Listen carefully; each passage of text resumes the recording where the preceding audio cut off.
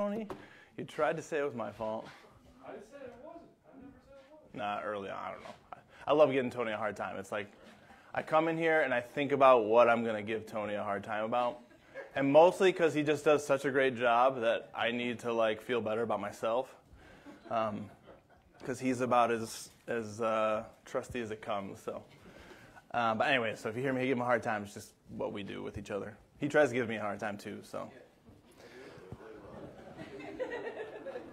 Um, anyways, so blah blah blah. I just want to go through these these scriptures. This is so that you have understanding of what it is, and so that you have um, a better understanding of what it is talking about and what it's not talking about. And what I'm going to tell you right now is that it's not about losing our salvation. Okay? And we're going to do a lot of context reading around these verses. So turn to Colossians 1.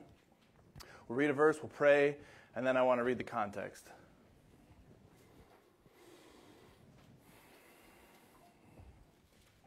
So Colossians 1, verse 22 and 23. Okay, so some people look at this and they say, see, you can lose it if you don't do the right thing. Okay? Um, if you look online, especially if we get to Ephesians today, um, what seems like such an easy verse to not be um, about losing our salvation, like we would use it as like clearly you cannot it, lose your salvation. The first thing that pops up on Google is that they use that verse as to say, no, you can. Okay? So, you know, the attacks are uh, here on the scriptures, and we need to know and understand how to defend these simple things. All right? So, verse 22, Colossians 1. In the body of his flesh through death to present you holy and unblameable and unprovable in his sight. If ye continue in the faith, grounded and settled, and be not moved away from the hope of the gospel which ye have heard and which was preached to every creature which is under heaven, whereof I, Paul, am made a minister. Dear Lord, uh, we're just so thankful for these scriptures and that we have them uh, to really know what is going on and that we can know your will. Um, it's not an unknowable thing, it's not something we have to search for in our lives and in the circumstances. Um, but actually something we can know and apply to every day and every hour, and we're just so thankful for that. I thank you for these saints who love your word and um, just the fellowship we have in that, that we can come together and uh, practice grace. And all these things we pray. Amen. Okay, so see, they, they, they put this if in there. Uh, they use this if as like, oh, see, you can lose it if you don't do these things. Okay? And so I want to just kind of read some context here in Colossians before we go too far any other verses. And we are going to hop around a little bit as always, but I want to read the context there.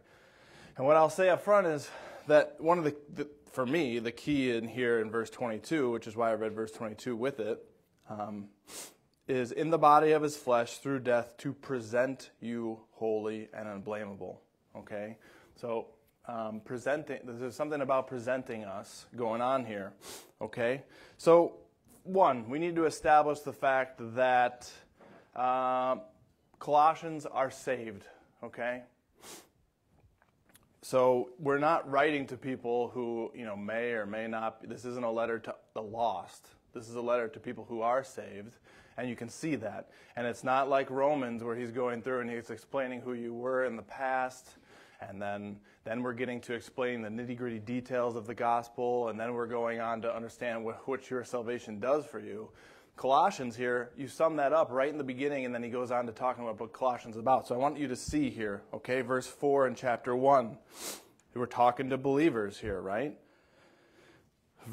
Chapter 1, verse 4. Since we heard of your faith in Christ Jesus and the love which ye have to all saints. Okay, so we're talking to we're talking to saints already here. Verse 5.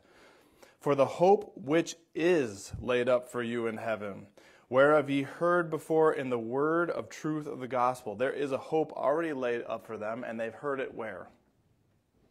In the gospel. All right, and they already have fruits from this, which is come unto you as it is in all the world, and bringeth forth what?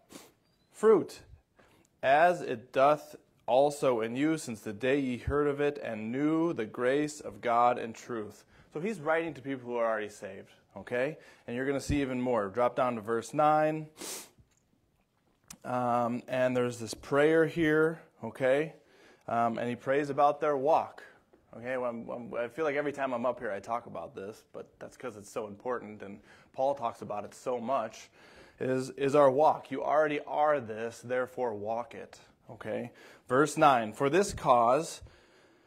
We also, since the day we heard it, do not cease to pray for you and to desire that ye might be filled with the knowledge of his will in all wisdom and spiritual understanding. So, like I said, I don't know, did I say this already? Um, his, we can be filled with the knowledge of his what? His will.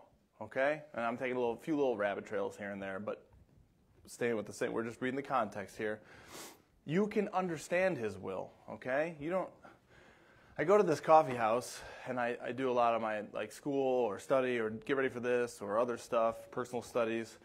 And um, it's like a apparently this coffee house is like where all different types of christians meet okay? And i don't I, I haven't really talked to too many of them but you know you can hear everyone talking to everyone and they're having conversations and like every conversation is like, well, when I separate myself and I go somewhere alone, that's when I can hear him talk to me.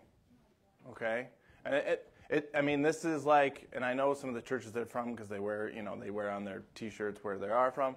I'm not, I'm not attacking them. What I'm saying is, is like they read this and they read it and they're like, oh, well, all I need to do is just pray more, get closer to God. I need to do something. If I go separate myself, go over here, go over there, do this, what, pick a different kind of Christian, you just go do something. What is it telling you right here? I, I want you to be filled with His knowledge and His will. And then he goes on to explain what that is. You can understand what that is now, so you don't have to search for it, so you can have that understanding. You can have that knowledge of that will in all wisdom and spiritual understanding. And really, what it is, is you then applying that to your life. Okay? And that's what he wants us to do. Is this is, this describes what he is doing and what his will is. Okay? We don't need to go look for it in our circumstances or hear a voice, right? I was up at uh, church in Wisconsin, I don't know, a month and a half ago. And the guy stood up there and he said, uh, what did he say? He said that many Christians might disagree with this, but you know, I was saved, or I, I could, I knew God was working in my life even prior to me being saved. That I was, he was, God was already working on me so that he could use me. Okay? And this is people within Right Division Grace Movement. Okay? So, so these verses, like I know this seems like really simple and eternal salvation and stuff like this, but we have to know these these basic things and be able to uh, understand them for ourselves, know them, and be able to just surely stand on the more sure word that we have. And because Christianity just has no idea how to defend it, okay? They just, they, people feel special when they hear God in their voice down in their basement alone. And then they can go to the coffee house and tell people about it, right? It's a pride thing, okay? People love it. I mean, you just, that's what it is, okay?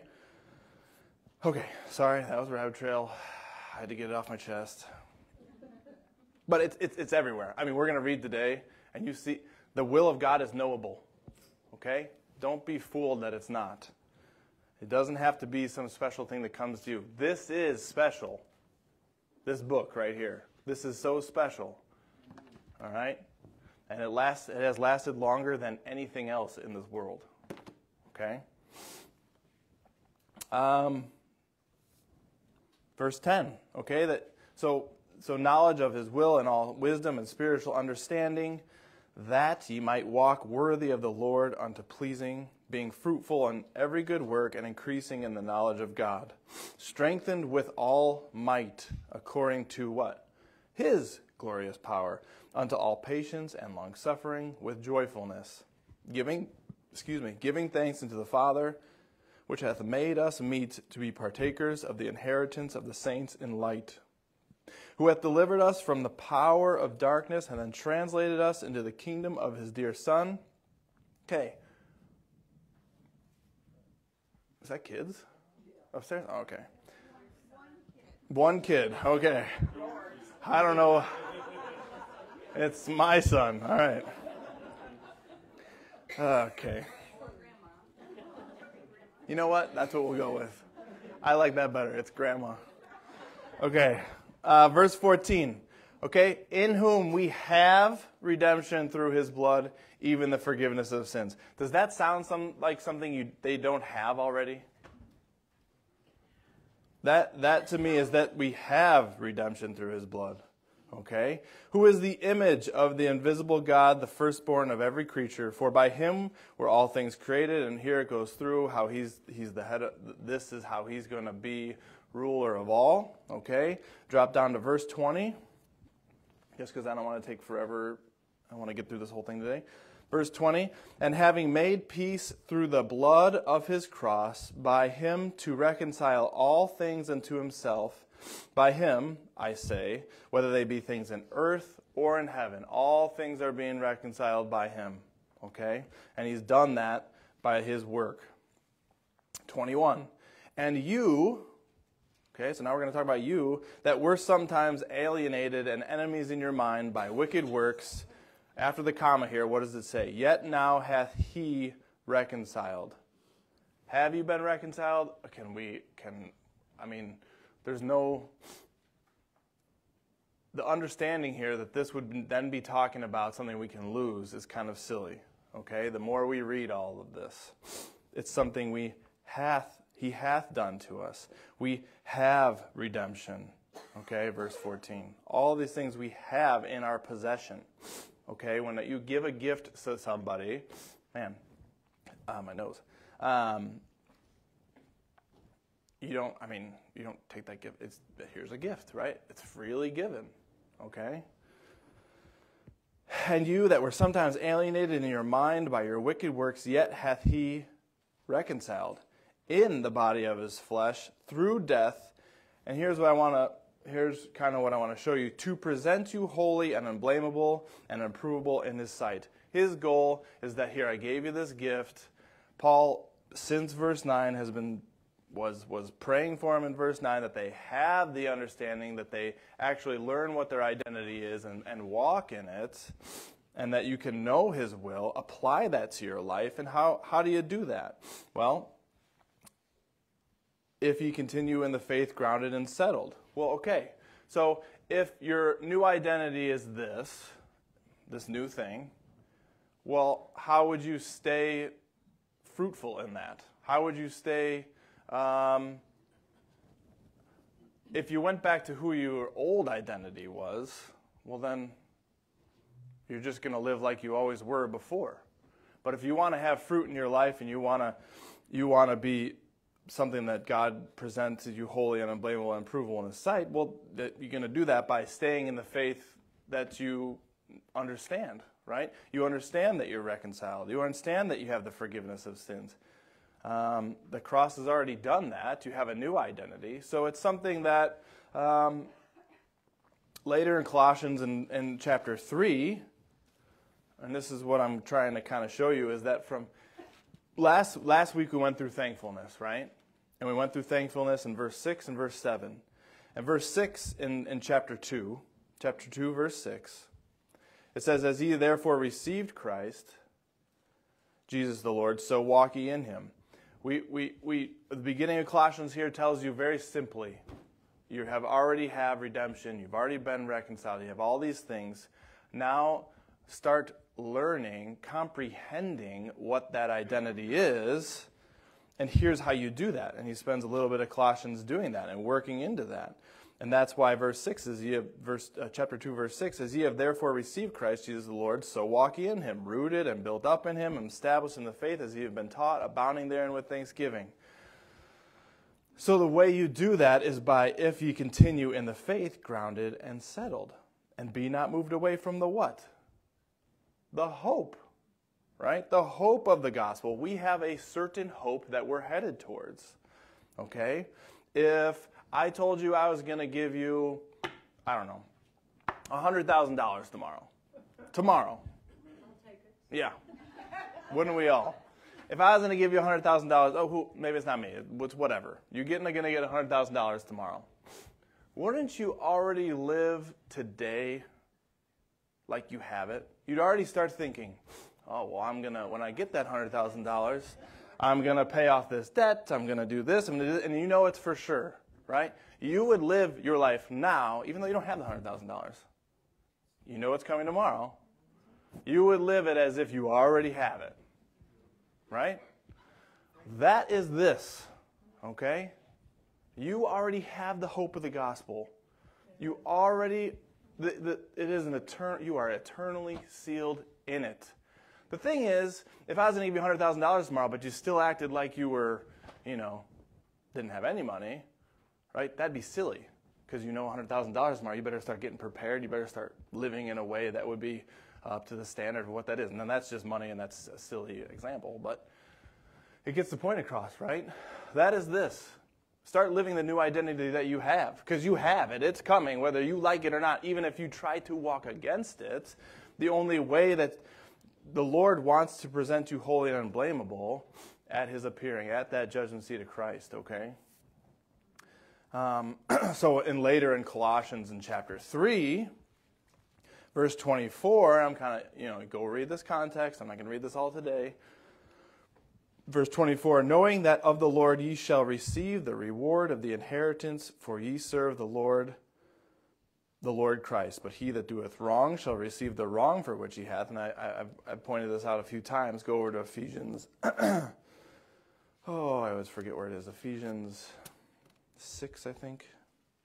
7 and 8 yeah so ephesians colossians they're parallel passages right? Parallel books. Um, same exact context here in, in chapter 6, and it says, with, with goodwill, doing serve, uh, chapter 6, verse 7, with goodwill, doing service as to the Lord and not men, knowing that so whatsoever, what? Good. So there's a reward that can be, you can get a reward that's bad, you can get a reward that's good. I do want to say one thing about the judgment seat of Christ is that you are already going to show up blameless sinless. Okay? This is not a judgment seat of Christ where you you're going to show up and like, okay, well you didn't do good enough and you're going to hell. That's what people who say you don't have eternal salvation make it into be, okay? If you're going to hell, you already know that. Okay? You're going to be resurrected in the in the in your sentence for the lake of fire, right? So you're going to this isn't a judgment seat of Christ of like good or bad in the sense that bad is bad is the lake of fire and good is you're in heaven. This is the sense of what have you built up in yourself to be useful for the Lord, right? So when you, the U.S. is, you know, a constitutional republic, and a lot of that is based on scriptures, okay? And so when we elect officials to rule, I'll just say it that way, simply, um, do we look at them as kings or do we look at them as people who serve us? Supposed to serve us, right? Now, I'm not saying that's what it is now. It's a mess now. But the original intent was that they would serve the people, right? My understanding of this to this point is that's that's what we're you're building up right now an ability to be to have service, okay? When we're when we're in the next in the next chapter, I'll say it that way right? At the judgment seat of Christ, how much, how, what's the ability you have to serve? Right? And I don't want to go too much into that because that's a whole other thing. But there, you know, the parables there with with how much you how much have you built up in yourself?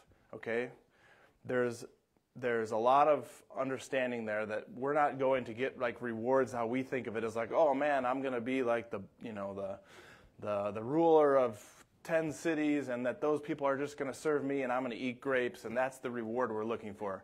It's quite the opposite. The Lord came down and was our in his earthly walk, right? And he was a servant to us, right? The idea is that you build up this this the will of God in all spiritual understanding so that you can be of service. The judgment seat of Christ is okay, what is what is your ability and where can I put you that, you know, did you live the new identity? Have you been practicing it? Right? Did you live by faith? Verse, verse 23, if ye continue, oh, verse 22 in chapter 1 of Colossians, in the body of his flesh through death to present you holy and unblameable and unprovable in his sight. He wants to present you, okay, the body of Christ, you as the body of Christ. And you do that by, if you continue in the faith, grounded and settled right? That, that rooted and built up and not moved away from that certain hope that we have, right? You're going to get $100,000 tomorrow. It's a certain thing. You already know where you're headed, which ye have heard. And so, you know, he goes down. Um,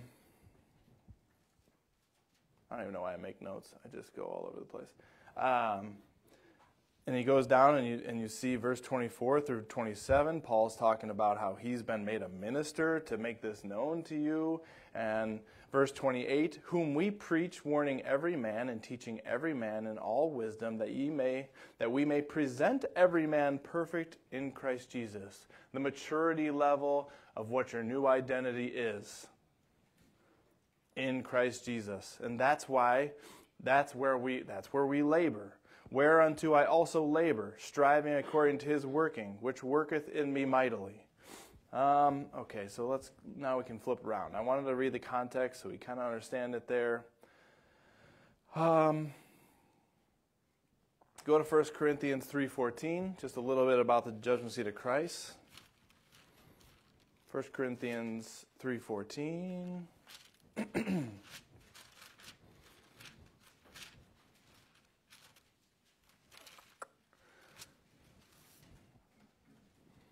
Okay, we all, these are all scriptures that we know. We've read together many times. Uh, verse 10 According to the grace of God which is given unto me as a wise master builder, I have laid the foundation, and, and another buildeth thereon. But let every man take heed how he buildeth thereon. For other foundation can no man lay that is laid, which is Jesus Christ. Jesus Christ is our cornerstone, He is our foundation. Everything in him is sure, and that's where you're going to build. You're going to you're going to labor according to that and not your own kingdom, right? Now, if any man build upon this foundation gold, silver, precious stones, wood, hay, or stubble, every man's work shall be made manifest, for the day shall declare it, because it shall be revealed by fire. And the fire shall try every man's work of what sort it is. Are you working because you wanna, you want your, are you trying to make your flesh better? And in the flesh you're going to show the Lord that you're worthy? All right, are you going to build up that, that wood, hay, and stubble? Or are you going to, how in Colossians 2, verse 6 and 7 there, you're going to be rooted in Him, be built up in Him, right? And let His work through you is what? Are you building up Him in your life? The gold, the silver, the precious stones. If any man's work abide, which he hath built thereon, he shall receive a reward. Okay, so there is there is this reward, and the reward is you can't you got to get out of thinking um, the fleshly, our fleshly rewards, right? I mean, you see religions do that all the time. That's exactly. I mean, so I'm going to mention names here, but that's how it goes. Um, that's exactly what the Mormon Church is, right? I mean, their ruling is that they're going to go be a Jesus Christ in another planet, and that that's their planet, right? And they get to they get to like have that planet as their own, and that's how it keeps going, right? Jesus Christ isn't actually God; he's just this um, another person just like you who lived good enough to have his own world. Okay.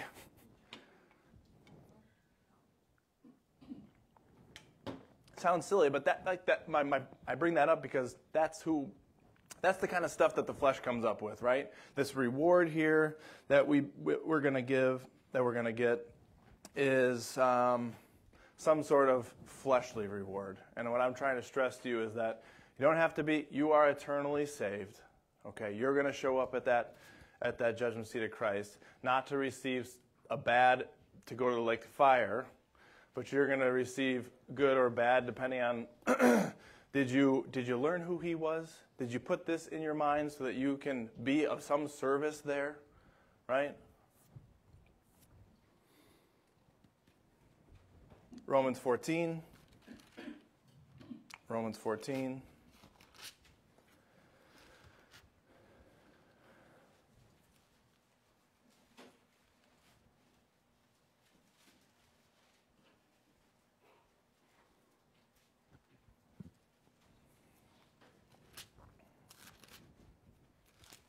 Starting verse 8. For whether we live, we live unto the Lord. And we, we read this last time and probably the time before too. So we're just kind of, I want you guys to soak this in. For whether we live, we live unto the Lord. And whether we die, we, we die unto the Lord. Whether we live, therefore, or die, we are the Lord's. For to this end Christ both died and rose and revived, that he might be Lord both of the dead and living. But why dost thou judge thy brother? Why dost thou set it not thy brother? For we shall all stand before what? The judgment seat of Christ. Now, I'm reading this so you know I'm not just like making up these terms, okay? For it is written, As I live, saith the Lord, every knee shall bow to me, and every tongue shall confess to God. So then every one of us shall give an account of himself to God. Let us not therefore judge one another any more, but judge this rather, that no man put a stumbling block or an occasion to fall in his brother's way. I know and am persuaded by the Lord Jesus that there is nothing unclean of itself, but to him that esteemeth anything to be unclean, to him it is unclean. But if thy brother be grieved with thy meat, now walkest thou not charitably. Destroy not him with thy meat, for whom Christ died. Let then let not then your good be evil spoken of, for the kingdom of God is not meat and drink, but righteousness and peace and joy in the Holy Ghost. For he that it, for he that in the, these things serveth Christ is acceptable to God and approved of men. Okay, so we see the judgment seat of Christ there in verse, uh, wasn't it 10? Yeah, verse 10. Okay, and um, I, I, I, usually am after a, a, verse, but I want to give you guys context, so I like to read them all. Um, but as believers, we're going to stand there at the judgment seat of Christ, okay? This is where the reward is given out. Like I said, there's a million ideas about that. The goal is to be presented, and we see that in Colossians, right? We're reading this. The goal is to be presented at the judgment seat of Christ as holy and unblameable and improvable in His sight. He wants to present you that way. And that is starting now. And the result of those things will be presented at the judgment seat of Christ. Like I said, the judgment seat of Christ is not a guilty or innocent type of judgment. The sin is already paid for and forgiven when we trust the Lord as our personal Savior. Our state is already sinless, and we already have our possession, the new identity that we are sealed into. Okay? And we read that context in Colossians there, and you saw that. We are reconciled, right? We are already a new creature, correct? So go to 2 Corinthians 5. 2 Corinthians 5.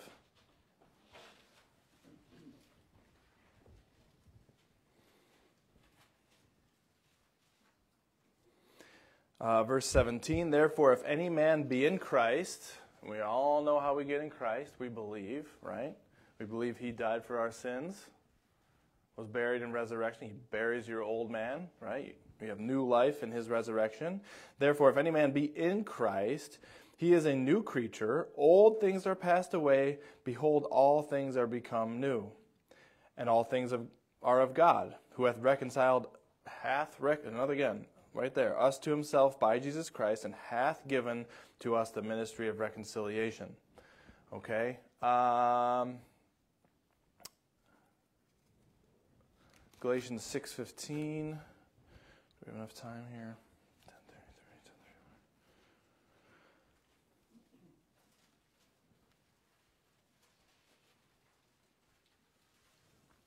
Verse 14, Galatians 6:14 but God forbid that I should glory, save in the cross of our Lord Jesus Christ, by whom the world is crucified unto me, and I unto the world.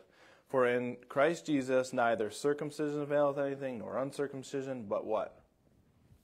A new creature, right? There's something new going on here. It is your identity, and we have a hope in the gospel, and we know where we're headed. Okay? Um, so we're already a new creature in Jesus Christ, right? Created in righteousness and true holiness.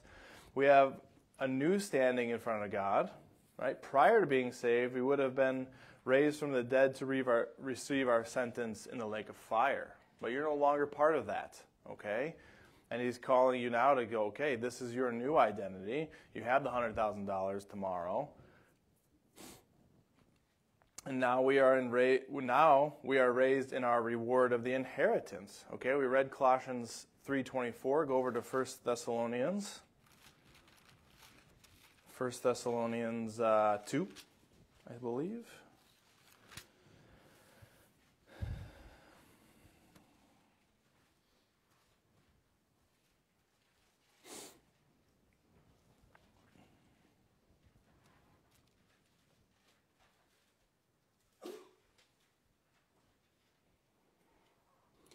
Um, we'll read starting in. Uh, we'll just start in verse 15. Who both killed the, Ju- killed the Lord Jesus Christ and their own prophets, and have persecuted us. And they please not God, and are contrary to all men, forbidding us to speak to the Gentiles that they might be saved, to fill up their sins alway, for the wrath has come upon them to the uttermost. But we, brethren, being taken from you for a short time in the presence, not in heart, endeavored the more abundantly to see your face with great desire. Wherefore we would have come unto you, even I, Paul, once again, but Satan hindered us. For what is our hope, or joy, or crown of rejoicing? Are not even ye in the presence of our Lord Jesus Christ at his coming? Look, we are going, that is what's going to happen. Okay? That's why I'm reading all these verses so that you like you understand that you are going to be presented there. Okay? The and he wants to, Colossians 2 there. I'm going the wrong way. Colossians 1, sorry, Colossians 1. Verse 22 let's start verse 21 now that we've kind of read all that. And you that were sometimes alienated and enemies in your mind by wicked works yet hath he now yet now hath he reconciled. He's already removed you from that. He's already killed the old man. Okay? You just need that's where the you if you're living back in the old man you're not living by what? Faith. Right? You're going no it's still a thing.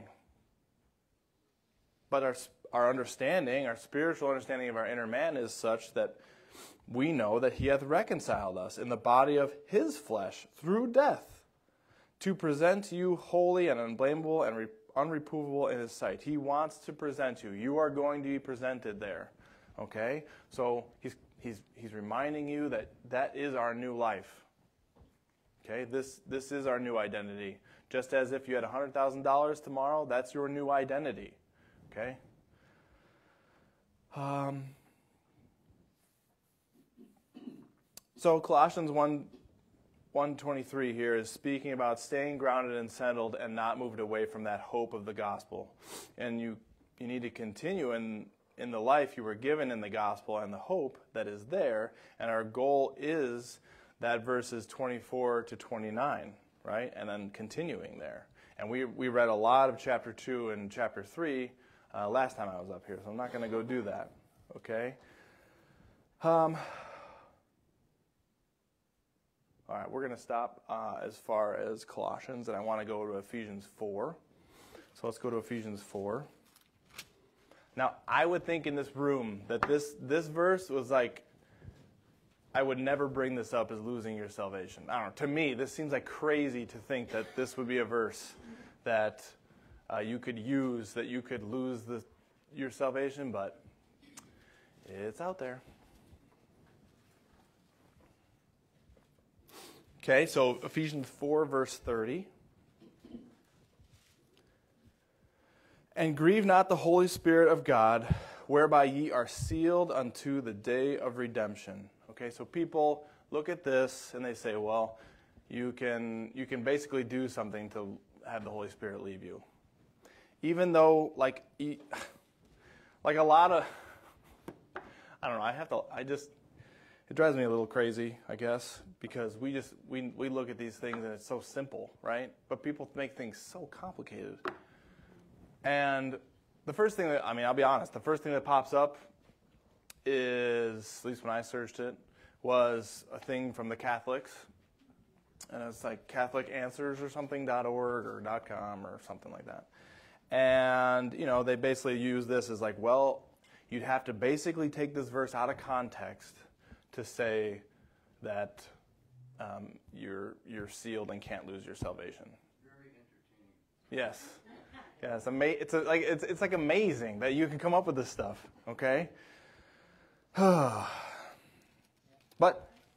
I do want to talk about it because you guys, you guys have access to people I'll never be able to talk to, right?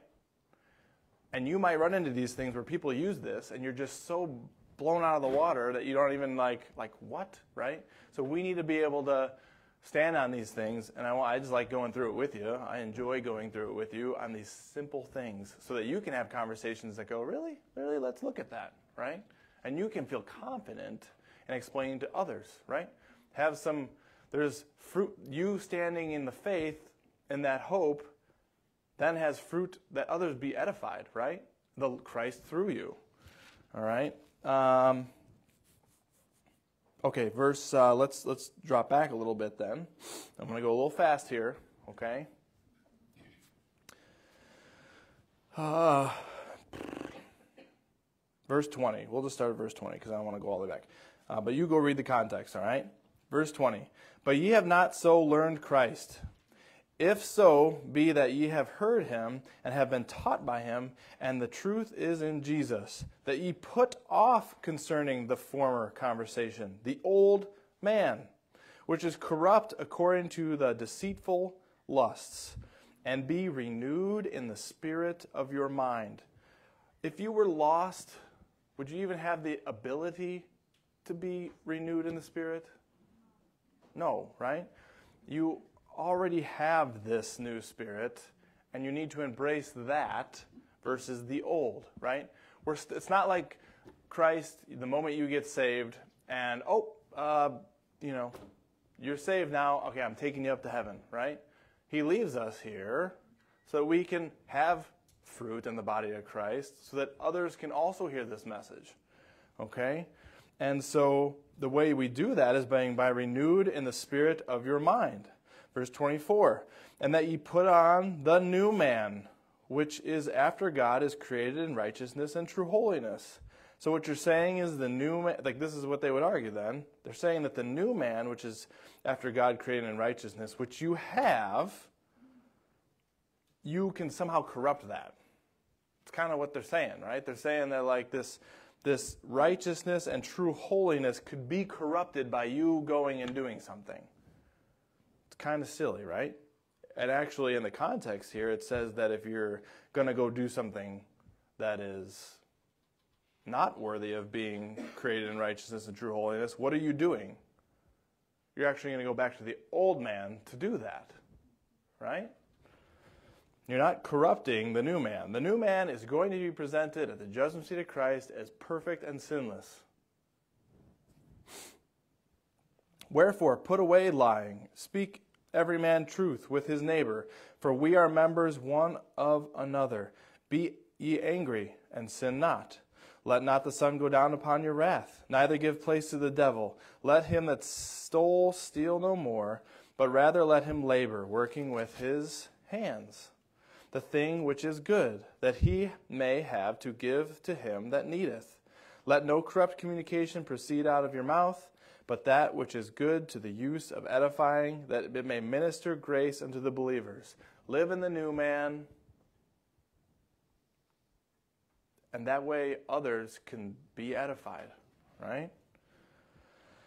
Ah, verse 30 And grieve not the Holy Spirit of God, whereby ye are sealed unto the day of redemption. You are sealed to show up at the judgment seat of Christ, the reward of our inheritance. We are joint heirs with Christ. You're going to show up there. You're already sealed into it. Every day that you decide to live in the old man, you're just not living in the new identity that you have, okay? Your new man cannot sin. You cannot sin. Okay? When you die, all the stuff that you did in the old man, gone. Right? So it's not a matter of like trying to make your flesh better. It doesn't say, okay, in the new man, be in the new man and now try to do good things so that your old self who you used to walk in and the spirit of the understanding that you used to and the lost darkness of your mind, you're going to start making that better. Right? No, it just says it's dead, it's gone. Right? That is our, our new identity. Our new identity is just sitting in the new identity of Christ and letting that walk in us. And focus on who you are, set your affections on the things above. Stop saying, oh, I need to stop doing this, I need to stop doing this, and making laws for yourself and making the flesh. I need to read more, and I want to show God that I'm going to do this for Him. That's flesh stuff, okay?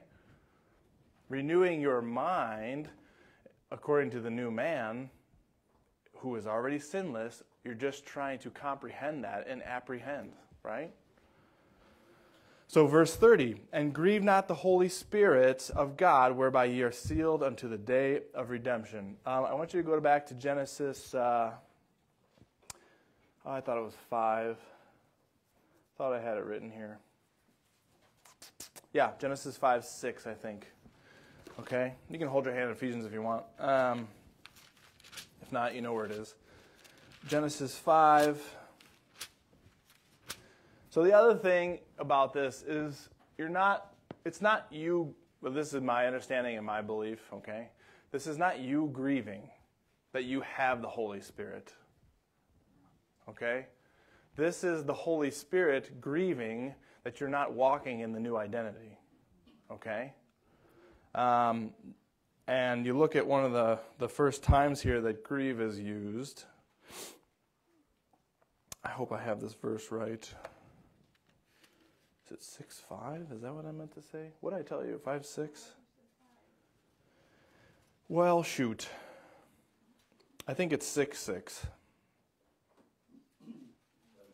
Yeah, this makes more sense. Okay, Genesis 6, we're just going to start in 5. And God saw that the wickedness of man was great in the earth, and that every imagination of the thoughts of his heart was only evil continually. And it repented the Lord that he had made man on the earth, and it what? Grieved who? Him at his heart. Okay, that is that's the grieving going on. And this that's my belief that this is and is not, hey, you believer grieve that you have, are a part of the Holy Spirit and the new man. I mean, you can already do that by going back to the old man. This is don't grieve the Holy Spirit who's with you, making intercession for you, right? By going and doing all those corrupt things, but instead walking in the light, okay? And guess what? You're going to do things that do grieve him, all right? That if you have an expectation that from now until you die, that you're just gonna like you know constantly do the right thing is is silly okay? But setting your affections on where you're going on the earth above or on the heaven above where we're headed that is how you stay out of going to the old man okay? And it's just comprehending who you are who your new identity is. Let all uh, verse 31 back to ephesians 4 and I'm trying to go quick here.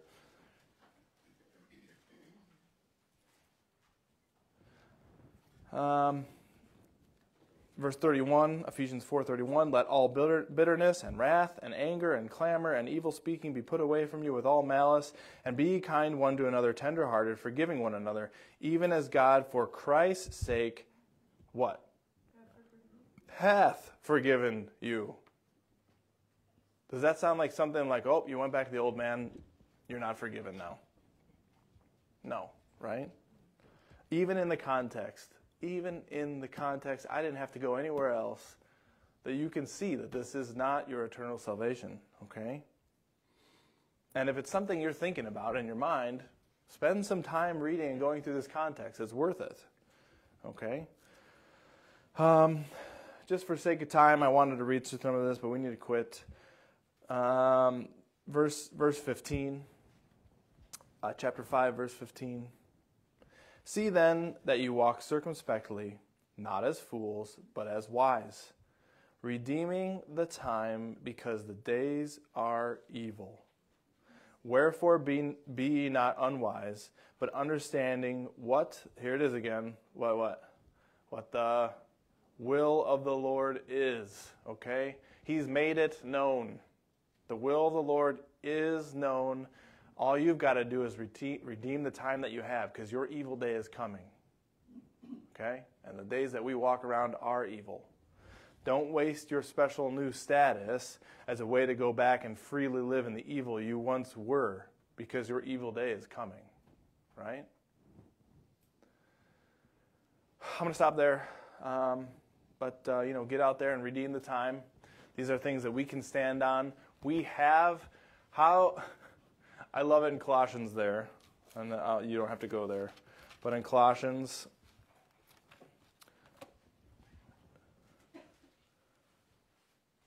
your walk is faith in the faith, grounded and settled, and be not moved away from the hope of the gospel.